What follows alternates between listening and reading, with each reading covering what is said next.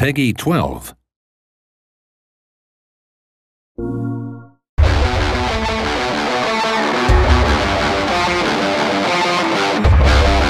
Okay, let's rumble.